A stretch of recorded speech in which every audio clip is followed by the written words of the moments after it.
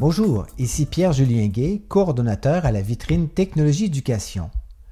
Entre 2011 et 2014, la vitrine et le centre de recherche LICEF de la Téléuniversité ont collaboré au développement d'un outil pour un référentiel de ressources d'enseignement et d'apprentissage. Ce travail a été soutenu financièrement par le ministère québécois de l'enseignement supérieur, de la recherche, de la science et de la technologie. Les modules développés sont disponibles en logiciel libre. J'aimerais vous présenter ces outils et la manière dont nous les utilisons dans notre travail régulier. Donc, les différentes collections de CRS comprennent d'abord une collection de ressources québécoises, environ 2000 ressources de la vitrine technologie éducation.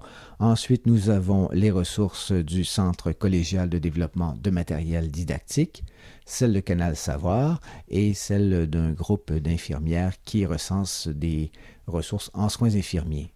Du côté français, nous moissonnons les ressources de Canal U, donc environ 11 000 ressources, et celles des universités numériques thématiques. Nous avons également 1500 ressources en provenance de Wallonie et il faut rajouter aussi une collection de 10 000 ressources en anglais qui nous proviennent de différents répertoires des États-Unis. Et nous prévoyons éventuellement intégrer des ressources de l'Université virtuelle de Tunis et celles d'ingénieurs au Maroc. Alors nous commençons notre visite de CRS par une recherche simple avec le terme cellule. On se retrouve avec euh, un certain nombre de résultats qui sont triés par pertinence. Comment la pertinence est déterminée? Eh bien, tout simplement, lorsque l'occurrence avec le terme recherché se fait dans le titre ou dans une classification, on considère que la ressource est euh, plus pertinente. Donc, elle apparaît au début des résultats.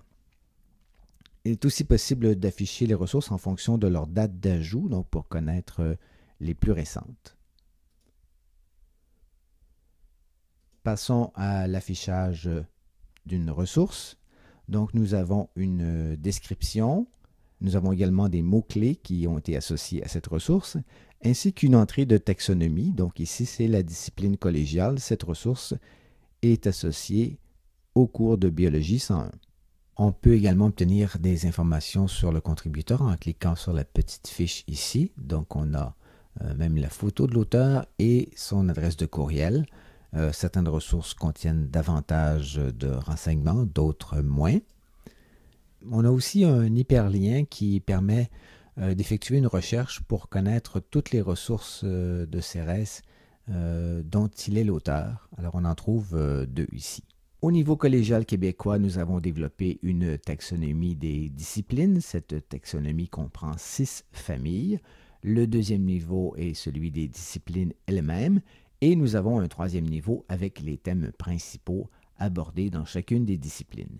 CERES supporte actuellement trois schémas de métadonnées, le Dublin Core, IEEE LUM et le profil d'application normétique qui est largement utilisé au Québec, et très bientôt la norme ISO 19788 métadonnées pour ressources d'apprentissage. Quel que soit le schéma de métadonnées qui est utilisé, CERES va transformer ces informations en déclaration. Il va affirmer par exemple des propriétés. Titre de cette ressource est cellule animale, la propriété langue et français, etc.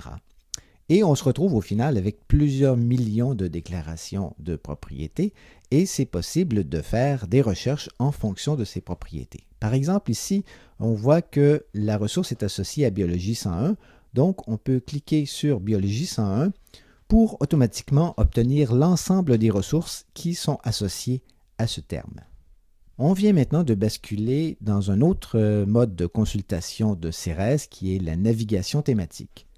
Alors nous avions choisi de cliquer sur une entrée de classification en fonction des disciplines collégiales. On retrouve ici le chemin de la taxonomie. On a les six familles plus une famille transdisciplinaire. On reste dans technique biologique. Alors, on voit les différents programmes qui sont associés à cette famille.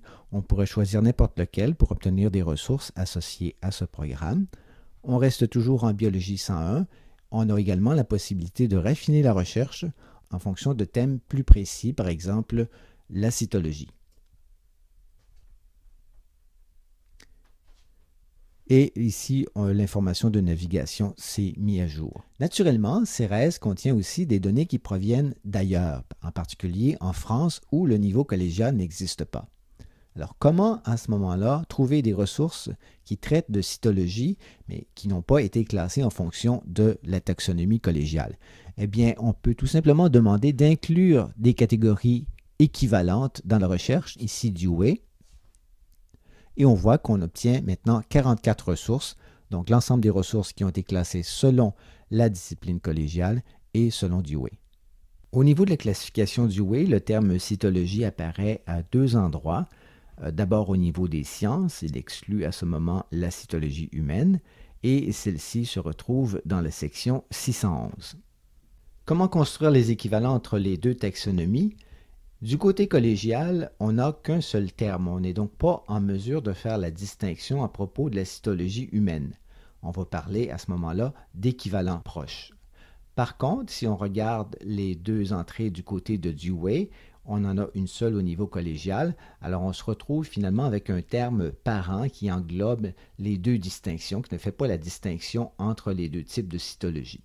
Alors pour conclure, nous allons jeter un coup d'œil aux données liées. Donc on se rappelle que l'ensemble des informations sont exprimées sous forme de propriété de la ressource.